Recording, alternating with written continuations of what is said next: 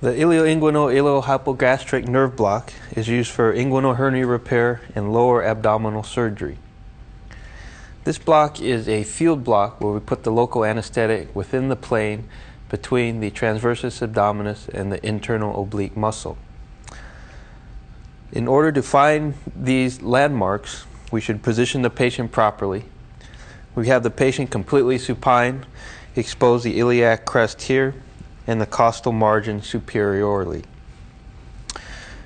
We use a linear probe for these blocks with a frequency of 5 to 10 and have the frequency set in the general or penetration mode.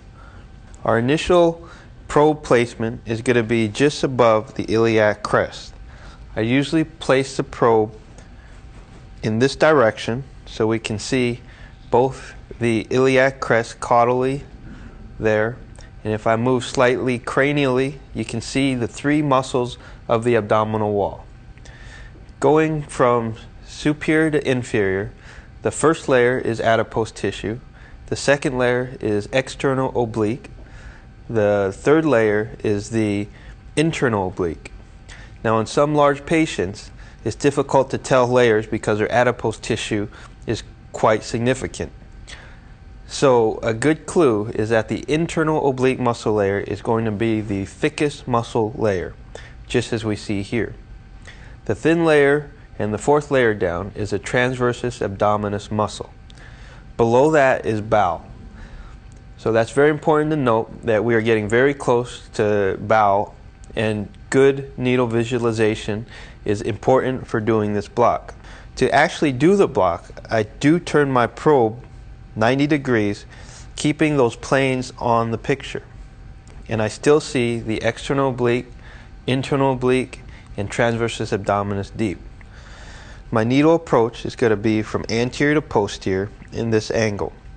It's important to start several centimeters away from the probe for this block in order to see the needle well. If you start too close to the probe, such as here, you'll have a sharper needle angle and you will not visualize your needle as well. Flat needle angles far away from the probe will allow you to visualize your needle. Now I like to advance my needle in a shallow plane to view it first and then advance it a little bit deeper. I'm going to deposit local anesthetic between 10 and 20 milliliters between the two deepest muscle layers, the internal oblique and the transversus abdominis. In this image, we can see the three layers of the abdominal wall, the external oblique, the internal oblique, and the transversus abdominis. Below the transversus abdominis is bowel, and you can see that moving. So we want to be very careful not to advance our needle too deep. Our goal is to inject between the internal oblique and the transversus abdominis. So we will carefully position our needle tip there and inject our local anesthetic.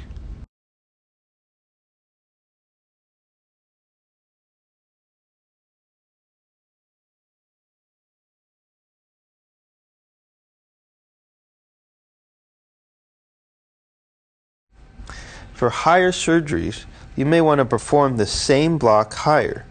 Higher up, it's the same block using the same muscle planes, just given a different name. Some people call this a transversus abdominis plane block or TAP block. Here now we have moved just below the costal margin slightly cranially. I will use the same needle position and advance it cranial to caudal in this direction. By moving higher up, we hope to get spread a few dermatomes higher, potentially up to T7 with larger volumes. The volumes I usually inject here are 10 to 20 milliliters on one side. For bilateral blocks, for midline surgeries, I'll stay on the same side and just move my hands over in this direction so I don't need to switch the machine to the other side. I'll just lean over the patient, get the same three muscle layers, and advance the needle like this in the middle of the probe, just like previously.